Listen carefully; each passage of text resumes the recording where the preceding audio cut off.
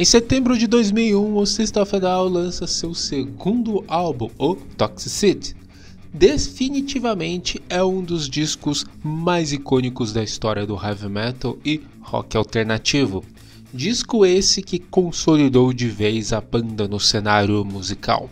Repleto de hits e com mais uma capa emblemática, esse sim é um dos discos já feitos.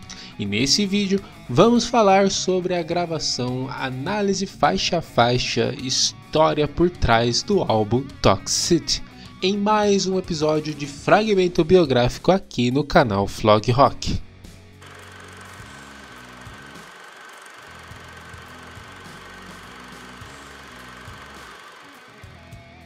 Sejam bem-vindos ao canal Flog Rock, aqui quem fala é Pablo Sato e apenas dois recados bem rápidos e indolor. O primeiro é sobre a sua inscrição. Inscreva-se caso não é inscrito. Isso ajuda demais o canal e nos incentiva a continuar com este projeto. E por falar em projeto, o segundo recado é sobre os vídeos do System Federal que estamos fazendo aqui.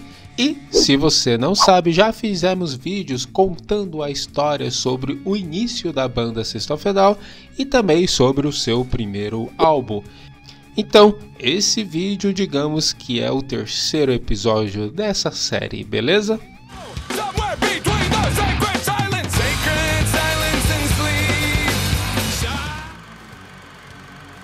O período que antecedeu a gravação de Toxicity foi crucial tanto para o System of Down quanto para o cenário musical do final dos anos 90 e início dos anos 2000. Esse contexto influenciou profundamente a direção do álbum e o que ele viria a representar. Após o lançamento do álbum de estreia de System of a Down de 1998, a banda rapidamente ganhou notoriedade na cena musical, especialmente entre os fãs de metal e rock alternativo. Suas letras politicamente carregadas e sua mistura única de influências sonoras como metal, rock alternativo, música tradicional armênica, enfim, chamaram a atenção de críticos e fãs. Apesar de ter conquistado uma base de fãs dedicada, o primeiro álbum teve sucesso comercial moderado em comparação com o que estava por vir. A banda ainda era vista como uma novidade dentro do cenário de metal alternativo e no metal que dominava naquela época, com bandas como Korn, Limp Bizkit e Deftones. O final dos anos 90 foi uma época de transição no rock e metal. O grunge, que havia dominado a primeira metade da década, estava em declínio e o no metal começou a ganhar destaque, mesclando elementos de rap e metal e trazendo um som pesado que atraía uma geração de jovens fãs.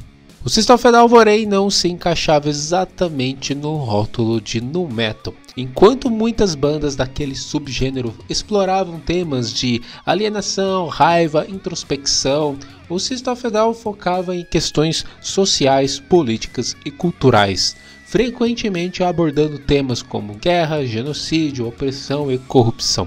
Isso os tornou uma banda única dentro desse cenário, mas também menos acessível para o público mainstream, pelo menos naquela época.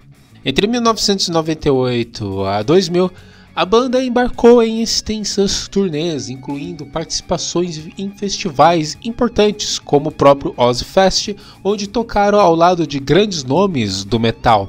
Essas turnês ajudaram a banda a solidificar sua reputação como uma presença ao vivo poderosa ganhando respeito tanto dos fãs quanto de outras bandas. Durante esse tempo, o of começou a desenvolver uma base de fãs mais ampla e fiel. Eles se destacavam pela habilidade de criar shows ao vivo intensos e carregados de energia, com performances imprevisíveis de Sgt. Tankian no palco, juntamente com os riffs inconfundíveis de Darren Malakian. E o final dos anos 90 também foi marcado por tensões sociais e políticas que influenciaram diretamente a banda. O System Fedal, formado por membros de origem armênia, sempre carregou uma forte consciência política.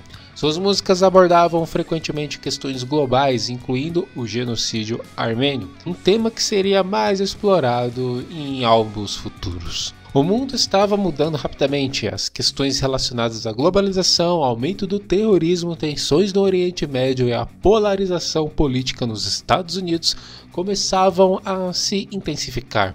O Sexto Federal, especialmente Sergeant Tankian, se envolvia ativamente em questões políticas, criticando abertamente o governo americano e abordando a alienação da juventude. E foi com esse todo o contexto que começou o desenvolvimento do novo álbum Toxic. As letras de Serge Tankian se tornaram ainda mais incisivas e Malakian, que assumiria um papel maior na composição das músicas, passou a experimentar mais com melodias e arranjos e também a compartilhar mais os back vocals. Como o primeiro disco, digamos, foi bem aceito, foi um sucesso à medida do possível do que a banda almejava, o produtor Ricky Rubin, que havia trabalhado nesse primeiro álbum, voltou para trabalhar em Toxicity. Ricky Rubin desempenhou um papel fundamental, incentivando a banda a expandir seus horizontes musicais sem perder a crueza e a intensidade que os tornaram tão únicos. Ele ajudou a refinar o som da banda, equilibrando o peso do metal com a sensibilidade melódica. Pois bem, depois do sucesso crescente do álbum de estreia, havia uma pressão enorme para que o segundo álbum fosse um sucesso ainda maior. O segundo álbum muitas vezes é visto como o momento decisivo para muitas bandas. Se não fosse bem sucedido, o System of a Down corria o risco de ser rotulado como uma banda de um único sucesso. E convenhamos, temos vários exemplos assim. Mas em vez de seguir com o que estava na moda, entre aspas, com o estilo no metal, ou simplesmente repetir o que fizeram no primeiro álbum, ou simplesmente repetir o que fizeram no primeiro álbum, a banda decidiu evoluir, aprofundando suas temáticas e diversificando musicalmente. Isso foi arriscado, mas se mostrou uma decisão brilhante.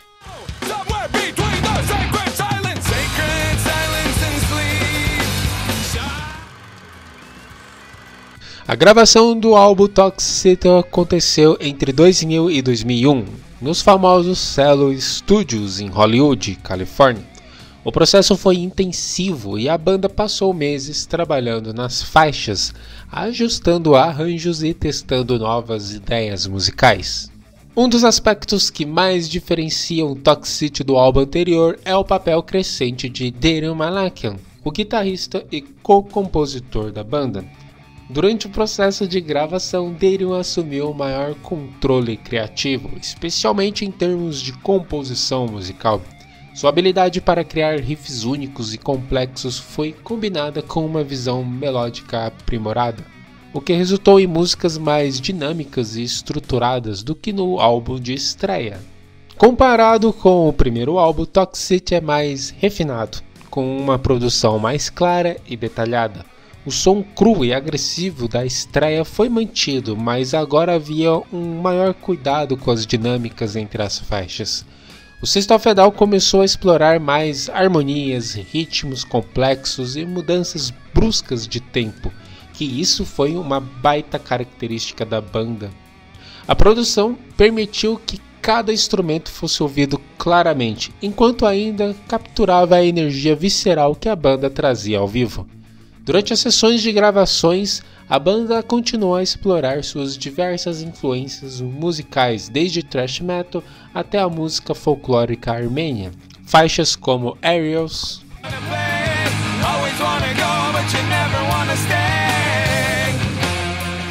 e Toxicity.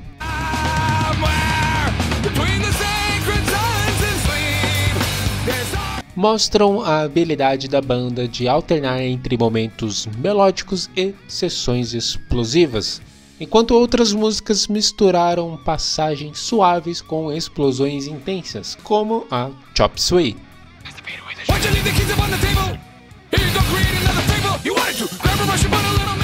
Essa mistura de estilos tornou Toxicity mais acessível ao público em geral, sem comprometer a essência da banda.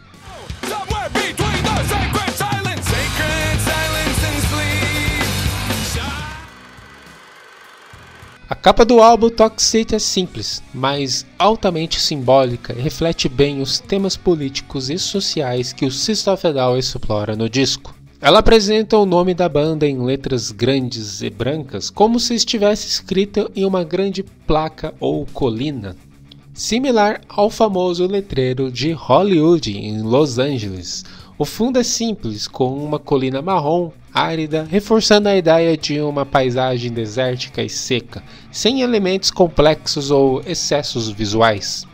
A escolha da tipografia é semelhante com o letreiro de Hollywood, não são coincidências.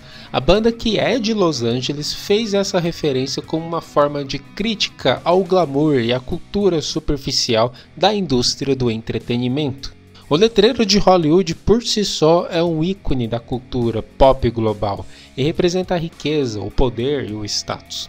Ao utilizar esse estilo na capa de Toxic, a banda parece ironizar essa ideia, especialmente considerando que o álbum aborda questões como corrupção, controle e decadência social. A simplicidade da capa também é um ponto importante, em uma época em que muitas bandas de no metal alternativo utilizavam imagens pesadas, agressivas e complexas em seus álbuns, o System Fedal, porém, optou por algo minimalista. Isso reforça o impacto na música e nas letras, sem distrações visuais excessivas.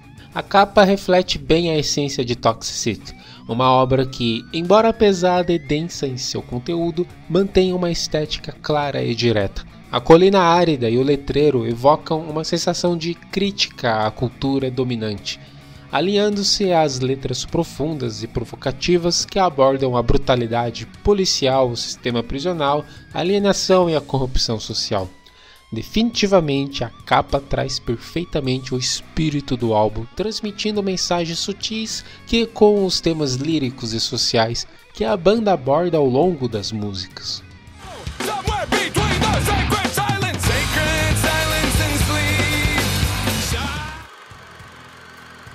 E por falar nas músicas e no próprio álbum, né? Lançado em 4 de setembro de 2001, apenas uma semana antes dos ataques de 11 de setembro, o que deu um significado ainda mais forte às suas letras politicamente carregadas, Toxic veio ao mundo em meio ao caos. Apesar de alguns boicotes nas rádios, principalmente nas primeiras semanas por conta do atentado, o disco foi um sucesso instantâneo. E ele começa com a faixa Prison Song.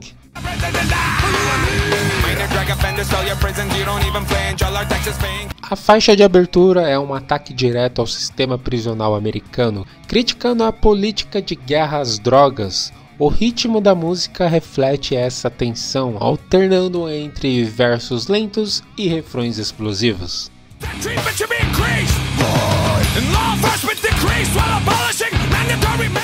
A segunda faixa temos a música Needles.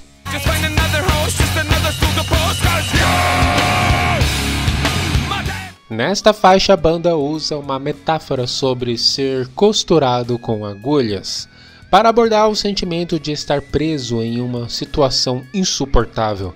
A música apresenta característica alternância do System of Down entre agressividade e melodias cativantes.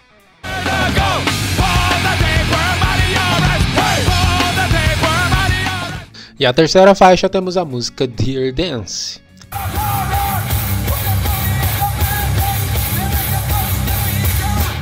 Essa é uma faixa politicamente carregada que critica a brutalidade policial e os protestos violentos. O título, Dear Dance, é uma metáfora para o caos e a opressão retratados na música.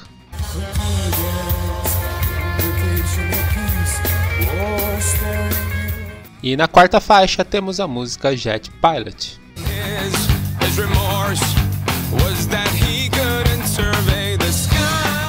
Essa é uma música curta e frenética. A faixa é uma crítica ao militarismo e à guerra, com letras enigmáticas que refletem o estilo lírico surrealista da banda.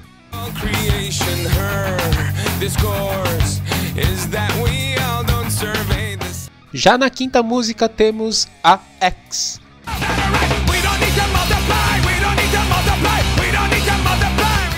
Essa é uma música que traz um riff agressivo e aborda a questão do crescimento populacional descontrolado e seus impactos.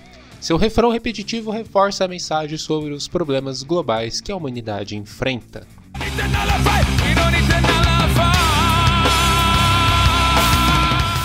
E na sexta faixa temos o sucesso Chop Suey.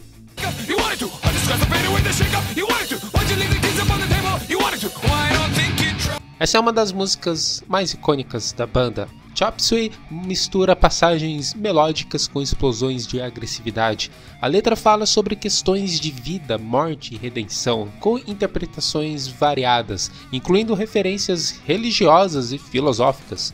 Foi o maior sucesso do álbum e consolidou o System of a Down no cenário mainstream.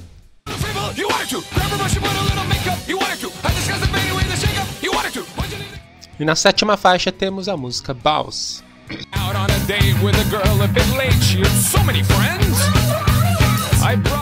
Essa é uma das faixas mais curtas e rápidas do álbum. É uma música mais cômica e lida com temas de promiscuidade de forma exagerada. Sua energia frenética a torna uma das músicas mais divertidas e caóticas do álbum.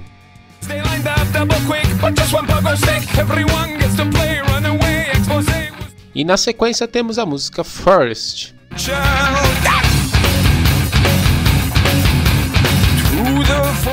Essa é uma canção que combina uma melodia emocional com letras que questionam as tradições religiosas e o comportamento humano, fazendo uma analogia entre a natureza e a humanidade.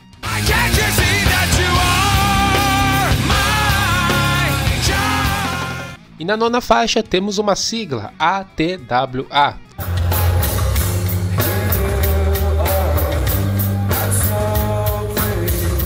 Essa é uma música que trata da relação entre a natureza e a sociedade, inspirada nas crenças de Charles Manson, que usava a sigla ATWA Air, Trees, Water e Animals.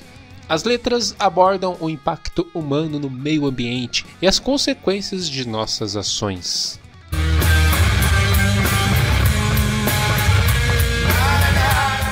E na sequência temos a música Science.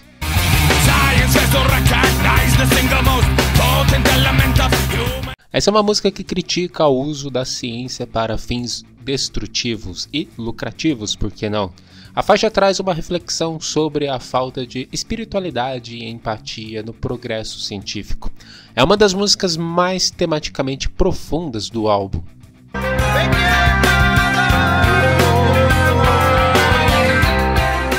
E dando sequência temos a música Shimi.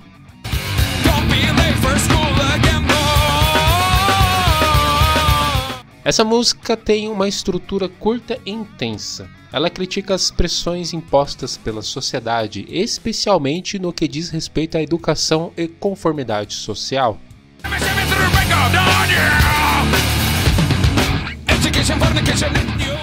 E a décima segunda faixa temos a Toxicity.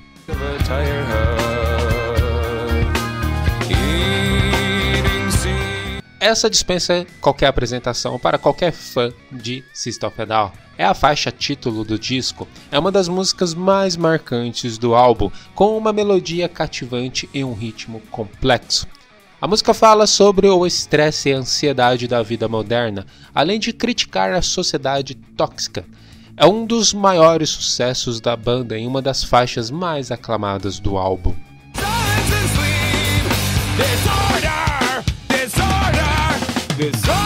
E na sequência temos a música Psycho.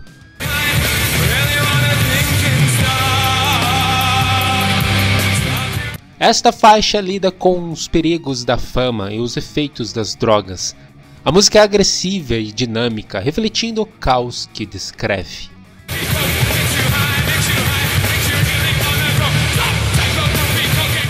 E fechando o disco temos a música Aerials.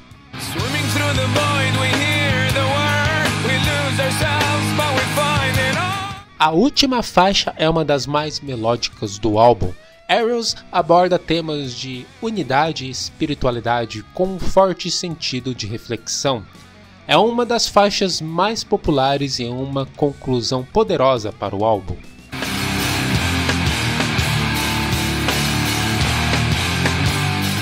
O álbum foi um sucesso instantâneo, estreando no número 1 da Billboard 200. O single Chop Suey rapidamente se tornou uma das músicas mais conhecidas da banda, mesmo tendo sido temporariamente retirado das rádios após o 11 de setembro devido ao seu conteúdo considerado sensível. Outros singles, como Toxicity e Arrows, também tiveram grande sucesso, e o álbum recebeu elogios tanto da crítica quanto dos fãs. Enquanto o álbum de estreia já havia demonstrado a capacidade do Down de mesclar metal com influências armênias em um estilo alternativo, Toxicity levou isso a outro nível. O álbum tem uma produção mais refinada, explorando novas texturas, com equilíbrio entre agressividade e melodia. As letras, em grande parte escritas por Serj Tankian e Deirun Malakian, são politicamente afiadas, abordando temas como guerra, corrupções, drogas e questões ambientais. Após o lançamento de Toxic, o System Down foi catapultado ao sucesso global. O álbum foi aclamado pela crítica e pelos fãs por sua mistura de estilos e temas provocativos. Ele foi certificado como multiplatina em vários países e continua a ser um dos álbuns mais celebrados da banda e do rock alternativo como um todo. Faixas como Chop Suey, Toxic e Arrows continuam a ser clássicos absolutos não só da própria banda, mas de todo o rock em geral. E o álbum solidificou o System of a Down como uma das bandas mais inovadoras e influentes do início dos anos 2000.